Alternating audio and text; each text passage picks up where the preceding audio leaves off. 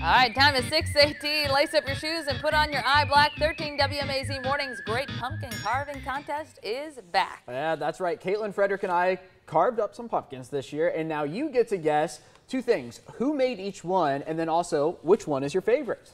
All right, let's check him out. This is Pumpkin A. He might be a little rough around the edges, but he is very mighty.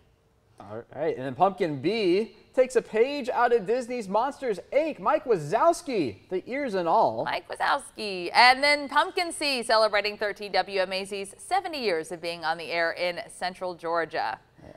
All right, here they are all again for you to see. Take a look, A, B, and C. Now, here's what you got to do. You got to go to 13WMAZ.com, vote for your favorite, and then tell us who out of the morning crew you think carved each one of them. Now, I will say, you see them in pictures, and thankfully we have pictures right. because Pumpkin C, apparently somebody in the studio liked and has gone missing since we left it yesterday after our carving contest. I walked in uh, this morning and I, I saw out of the corner of my eye the pumpkins. I was like, wait a minute. It took a second to process and I was like, oh, there's only two of them there. There's one that is missing. So uh, that's the other thing. We are on the hunt now for Pumpkin C.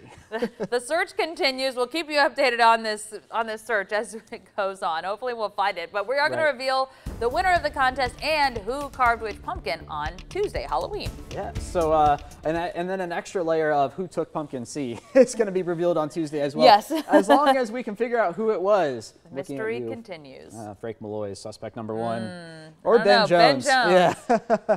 That was the other thing. I, I went out in the backyard garden. I was like, oh, maybe Ben took it out there to like use it for like the evening weather. It wasn't out there. So the hunt is on. We will keep you updated. 13 investigates tonight at 11. All right.